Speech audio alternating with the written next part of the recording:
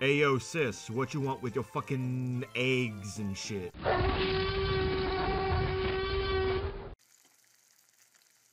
Okay.